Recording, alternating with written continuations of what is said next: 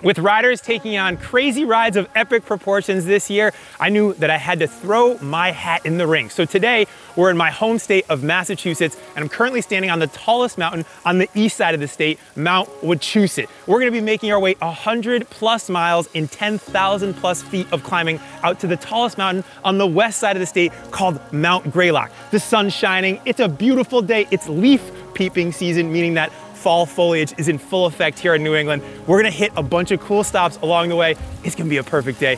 Let's go. All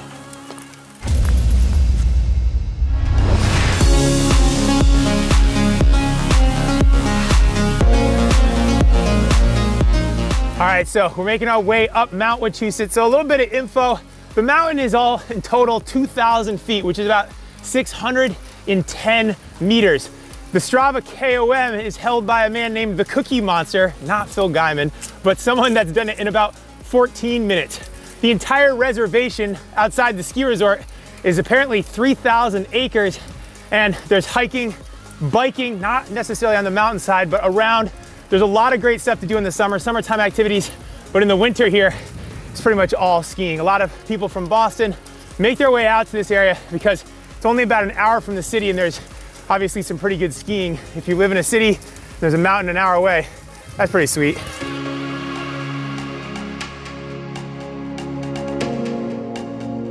All right, we're here on top of Wachusett Mountain, looking out east at Boston, the uh, Atlantic Ocean, and then even further, probably Bath, England. When we go north, we're looking at Mount Monadnock, and then when you go dead west, it's out to where we're headed to Mount Greylock, which is the way the crow flies, 66 miles, but our route's gonna take us quite a bit more. We gotta go. It's cold up here, the wind's blowing. It's time.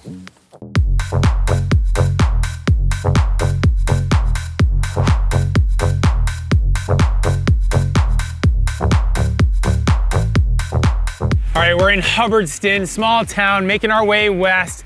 Got uh, this big church behind us here. It's beautiful. Sun's coming from the side. We got a lot of work to do. We got to keep it moving. We're only an hour and change in, so we got to keep it going here.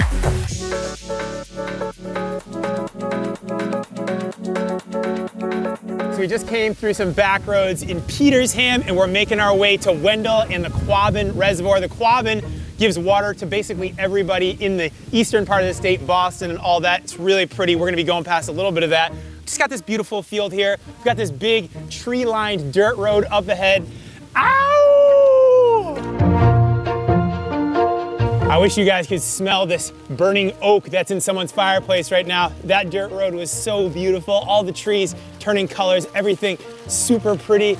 Love this ride so far. It's put a huge smile on my face going through that section back there.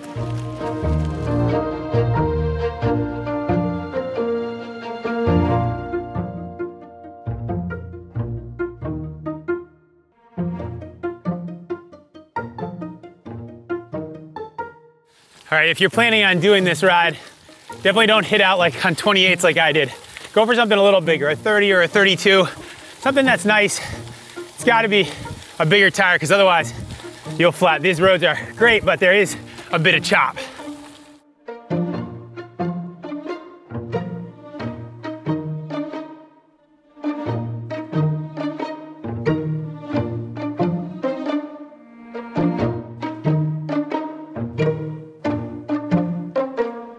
We're here at the Village Co-op. This is the first rest stop that we're doing about 50-ish plus miles in. This is a great spot. I've been here many, many times over the years to grab snacks out on training rides. We're technically pretty close to the most southern part of the route, and that's also the lowest in elevation because we're down near the Connecticut River. So I'm gonna go in, I'm gonna get some snacks. We gotta throw our masks on, gotta grab some hand sanitizer and all that, but then we're gonna come over here and sit on this beautiful rock benches that they have all out in front of here. If I can tell you guys, there's just a dirt road over there, just gentle traffic. We're really out in the hills of Massachusetts, and this little co-op is just a nice little oasis to hang out and, and grab snacks. So let's do this. All right, I had to go in there, and get a lemon lime seltzer, got a bag of salt and vinegar potato chips and a cookie. It's kind of where my, my mind is at right now. I want something sweet, but I also wanted something salty. So check all the boxes there. This is more of my home turf where I used to do a lot of big training rides. Love stopping at this store, but we're well past the halfway point. We're making our way out to Greylock. I even got to take the arm warmers off. you guys know it wouldn't be an epic ride if I didn't show off one of the covered bridges. This is the Conway covered bridge, also the Burkeville covered bridge. It was built, as you can tell, sometime in 1869. And regionally, it's a rare example of a multiple king rod bridge using iron tensioning verticals and a modified Howe truss system. And it's apparently one of the only 19th century bridges to survive all the crazy storms and different things that have happened to these covered bridges. If you've been following the other epic ride videos, you know, some of them have been caught on fire. Nasty, crazy hurricanes and storms have wiped them out, but this one still shining today. And I have to say, it looks, it looks pretty sweet.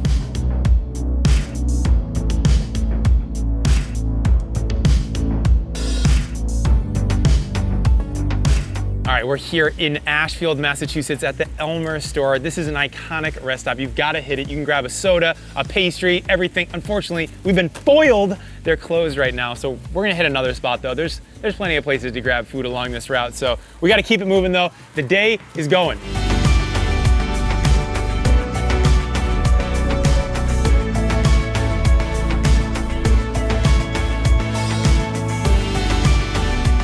This is the Watson Spruce Corner. A lot of iconic road races come through here, big cycling events, everything comes through this four-way intersection. It's super pretty. The land kind of flows really low, tons of cows, the foliage, everything right now is just absolutely perfect. I love this road.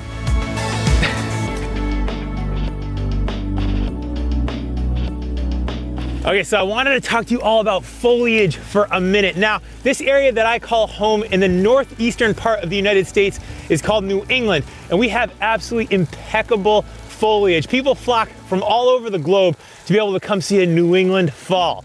Leaf peepers, as they're called, love this area because of all of the different types of species of trees that we have here in this area. We have oak, poplar, maple, we have tons of pine trees, elms, there's literally everything here. And the reason that these trees get so beautiful is basically when it gets cold and nasty out, the trees start to lose their chlorophyll, which is what keeps the leaves green. Once that starts to happen, they start to die, and then we get all of these beautiful colors. We get bright yellows, the leaves turn gold, purple, red, bright red, and pretty much every hue in between. And it just looks absolutely stunning. This area is super cool because when you go further north, it changes. And when you go further south, it stays too warm. It's this combination of cold evenings and really warm days that kind of make these trees get really bright. And I have to tell you, riding this time of the year is absolutely phenomenal. So if you're ever gonna come out, definitely wanna do a New England fall because the weather and the views are absolutely stunning.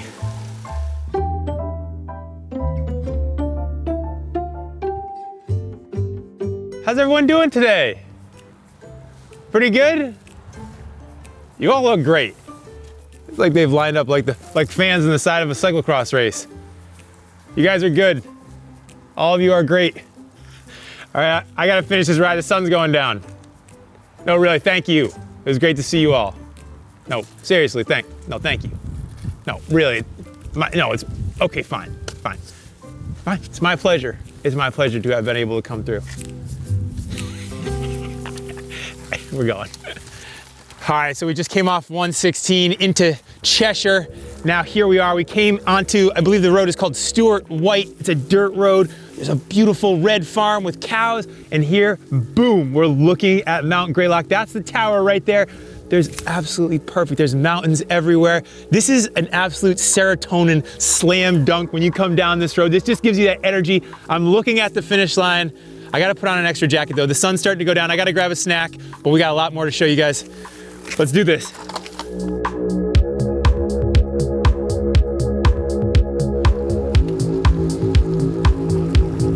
So one of the other great things that you ride past when you're on your way to Greylock, we're practically almost 100 miles into this thing, is you come past the Susan B. Anthony birthplace back in 1820, I believe. Susan B. Anthony paved the way for women in the USA throughout much of the 19th century. Anthony was part of the abolitionist movement to help end slavery in the United States and ultimately became our 13th Amendment. After that, Anthony turned her incredible character and determination towards allowing women to vote. And in 1920, the Susan B. Anthony Amendment, which later became the 19th Amendment to the US Constitution, did just that. All right, so we just made our way through Adams. We came up here for a small detour to a local orchard that's at the base of Mount Greylock, which we're gonna be going up to the top of to get an apple cider donut. All the local orchards have their own apple cider donuts. We were inside getting them and the woman told us that she just made them fresh today. I got six. I'm definitely only gonna be eating one or half of one right now. I'm starving, but if you don't know what an apple cider donut is, basically it's a batter. They make it with buttermilk, cinnamon, nutmeg, and then they top the donut with sugar. And it's, I'm telling you, the smell is coming out of the bag right now, and I'm, I'm salivating as I do it. I'm gonna crush this, but we gotta go because the sun, I bet there's only an hour left of daylight right now. Absolutely delicious. You're wondering how to say that, and so they actually make it phonetically. They just put yes keys. That's how you say it. Yes keys. Yes keys orchard. That's, how I want everything spelled. All the names when I'm doing the commentary and stuff, I need them spelled like that. I've finally made it to the base of Massachusetts' tallest mountain, Mount Greylock. Its peak sits at over 3,500 feet, which is around 1,100 meters. The climb should take about 40 minutes to complete, and there's two different ways to get up the mountain. But today, I'm going to be climbing it from Notch Road, which is notoriously steeper than the other side. And both ways, though, have beautiful, gorgeous vista views and serious elevation gain. This is a climber's climb, and I'm hurting as I race to get to the top before the sun sets on what has truly been an epic day of riding. So we're at about 1940 feet elevation. I'm definitely feeling the last 100 plus miles. I've had a couple of bonks since the apple cider donut, but we're here now and it's a sea of yellow it's really pretty. It's every tree is bright yellow here. And this climb is super steep on this part that I've done. I can tell you honestly, I've, I've not done this part of the climb before. I've done it from the other side. And it's really, it's hard. My legs aren't cramped because I didn't nuke the pace here, but this is a really hard day. And uh, this climb though is beautiful. So it's like, it's like sugar and salt at the same time.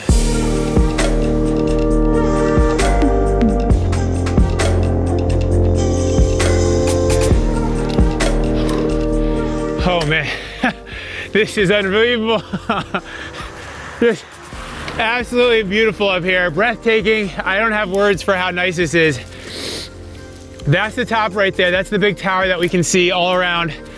We're two and a half or more miles to the top now.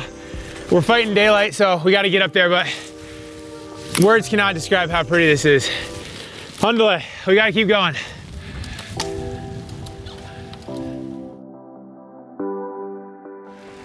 So we're almost to the top now, 3,517 feet. Just look out there.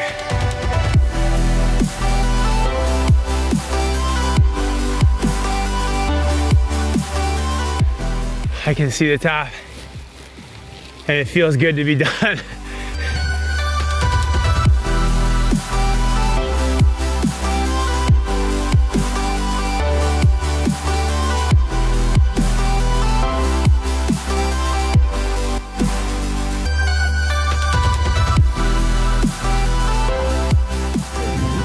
That was a day of riding. We've made it to the top of Mount Greylock. We started in central Massachusetts at Mount Wachusett. It was beautiful and sunny when we started. Now it's freezing and cold. The sun has gone down. It's absolutely breathtaking ride. I hope that you'll come out to New England sometime and enjoy the beautiful foliage that we have here in New England. I had a blast showing this place off. It's cold. I gotta get out of here. Leave us a comment down below. Let us know what you thought of this ride. I had a lot of fun doing it. Whew.